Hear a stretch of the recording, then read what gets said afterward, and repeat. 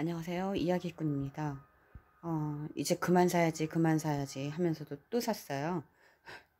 그래서 언박싱을 해보려 합니다. 그만 사야지 하는데도 계속 더 사서 이번엔 또 뭐 샀을까요? 어, 그냥 뭐 하나 있으면 뭐 하나 더 갖고 싶고 자꾸 그래가지고요. 죄송합니다. 이게 이것도 병이네요. 음, 음, 음,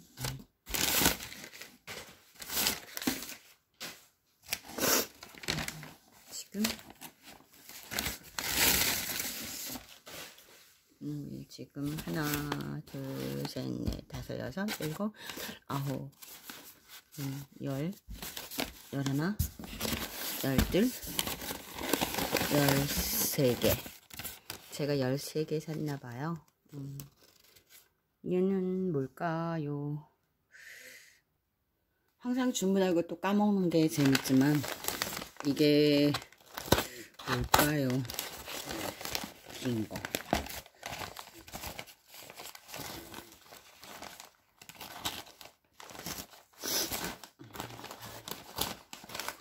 잠시. 와우. 이거 21년도 한 5월인가 6월에 샀다가 사무실에서 다 죽을까봐 한 개만 갖고 내려왔는데, 어, 그거네요. 황금죽. 세척 황금죽. 예. 얘가 어떻게 자랐는지, 어, 하나만 갖고 내려온 것이 어떻게 자랐는지 보여드릴게요. 지금 이거예요. 저거는 한 촉만, 세 촉 중에 하나만 키운, 어, 황금죽입니다. 다시 제자리로 가서 unboxing 할게요. 이 기다란 건 뭘까요? 찾아봐야죠. 아, 갖고 싶었던 안스리움이네요. 어, 오랜만에. 아, 한 번도 키워본 적은 없어요. 예. 안스리움. 음, 요번엔 요거 열어볼까요? 얘가 뭘까요? 음, 음 인도 고무나무 같이 생긴 멜라니 고무나무네요. 어. 그 다음에는 또 어떤 걸 풀어볼까요? 얘를 풀어볼까? 음, 얘를 아 이건 어 방울 대추 방울토마토 먹고 씨를 뿌려서 싹이 어린 떡잎만 나오고 제가 관리소울로 너무 길이가 길어져 가지고 웃자라 버렸는데 또 하나 샀어요. 근데 얘가 하나는 노랑이고 하나는 빨강 대추 방울토마토인데 어 모르겠네요. 음. 또 위에가 밀봉이 안 된 얘는 또 뭘까요? 얘가 뭘까요? 음, 얘는 음, 그냥 방울토마토.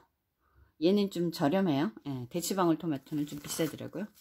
음, 근데 대치방울토마토를 먹으면서 심었어요. 그래서 어린 싹이 났는데 그 싹을 옮겨 심고 뭐 이래야 되는데 그걸 못했어요.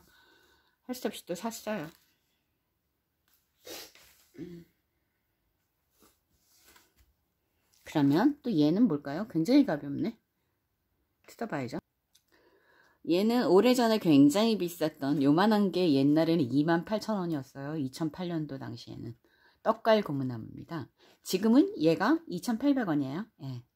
28,000원이었던 시절도 있었습니다. 요만한 게. 어, 큰 거는 다 비쌌고요. 그 당시는. 항상 새로운 것이 나오면 되게 비싸요. 예. 근데 시간이 지나면 싸져요. 왜냐면 농부들이 다 개량해서 굉장히 많이 만들어내거든요. 대단하신 분이에요. 우리나라 어, 그 원예 농업 하시는 분들. 아, 또 열어봐야죠. 얘가 뭘까요? 어, 얘는 한 번도 안 키워본 워터코인이네요. 예. 브레옥점은 많이 키웠거든요. 물배추도 많이 키우고. 근데, 어, 예. 아, 갑자기 이름 또 까먹었네. 얘는 처음이에요.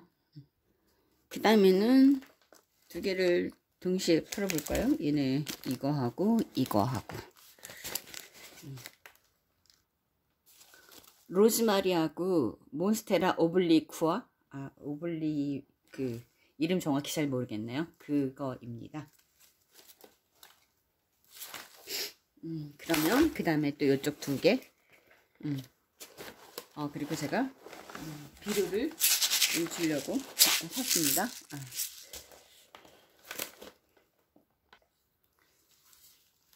하나는 어, 지금 더 저렴해졌어요. 이거 호야 2,200원입니다. 어, 얘는 워터코인. 워터코인은 제가 두 개 주문했나봐요. 음, 그리고 나머지 두 개. 얘들은 또 뭘까요? 음.